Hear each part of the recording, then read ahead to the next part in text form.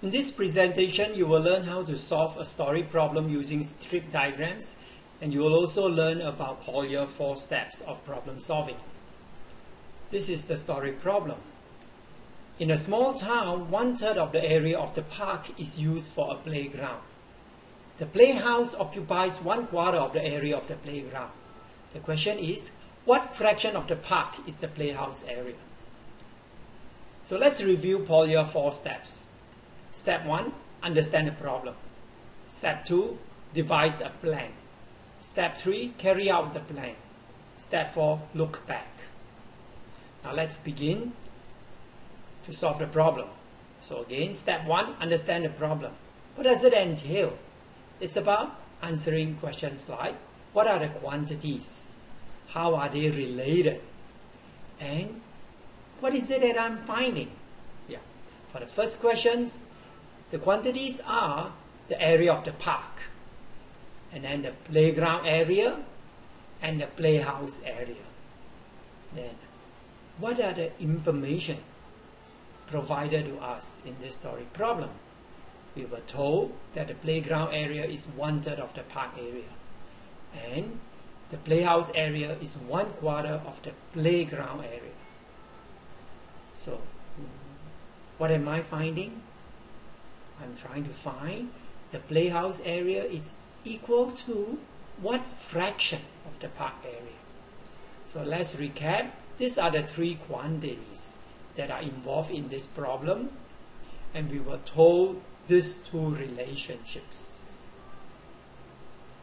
Then the question is the playhouse area is what fraction of the park area? So now that we have understood the problem, let's devise a plan.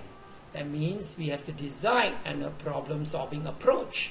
So in this case, let's use strip diagrams. So we need to draw strips for these three quantities. We can draw any, a strip of any size for the park area. But for the playground area, we need a strip that is shorter. And the playhouse area even shorter. But how short? So that we will make use of the relationships that are given to us. So let's now proceed to solve the problem, that is to carry out the plan. So we know that the playground area is one third of the park area. So what we can do is to cut the park area into three equal pieces. And the playground area is one third of it? Then the playhouse area is one quarter of the playground area. So again, we cut the playground area into four equal pieces. And the playhouse area is just one out of the four equal pieces. Okay, so then the question is to find what fraction of the park area is equals to the playhouse area. So that means we need to relate these two quantities. Essentially, we are asking what fraction of the park area is playout area. How can we answer the question? So what we could do is to see that the park area actually is made up of 12 equal pieces and playhouse area occupies just one out of the 12. So that's why the answer is 1 12th of the park area. So we are done, right? Okay, the fourth step is look back. So what does it mean? It's just to check is the answer reasonable. So another way is to look for a different method to solve it. We can solve this problem mathematically without using pictures. How? By using equation. So we know playhouse area is one quarter of playground area. And since we were told that the playground area is one third of the park area, we can write it this way, right? So one quarter of one third of park area. And we know of means multiplication. Now we can actually multiply the first two, two fractions to get 1 12. So that's why the answer is indeed equals to 1 12 of the park area. Done? Yeah. So we can also actually visualize this problem using an area model. So let's represent the park area using this green rectangle.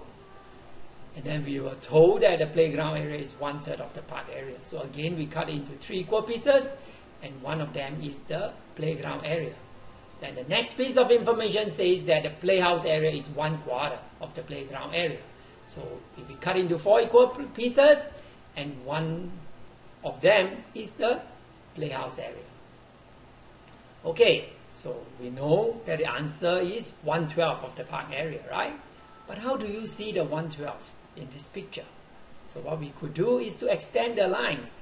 And indeed, you will see that the playhouse area is 1 12 of the park area. So we are done. So let's move on to the conceptual understanding of fractions now. now my question is, is it correct to say that the playhouse area is 112? The answer is no. Why? Because we need to mention the reference whole for the fraction 112. That means 112 of what? So it's actually 112 of the park area, right? The playhouse area is 112 of the park area. Now, can we also say that the playhouse area is one quarter?